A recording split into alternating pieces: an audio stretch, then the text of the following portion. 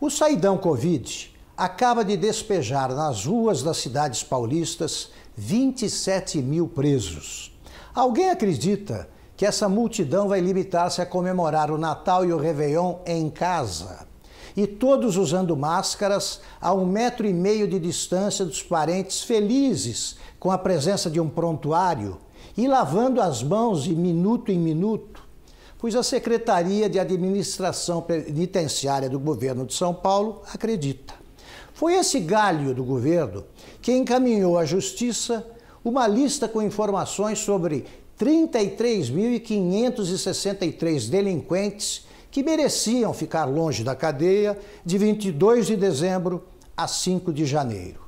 Ouçam um trecho da nota divulgada pela Secretaria sobre a soltura do que chama de reeducandos custodiados.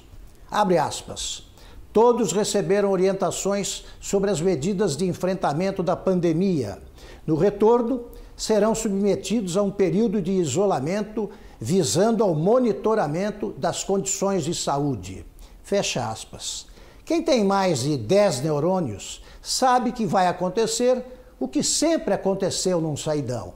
Sem carcereiros por perto, boa parte dessa multidão não resistirá à tentação de fugir de vez.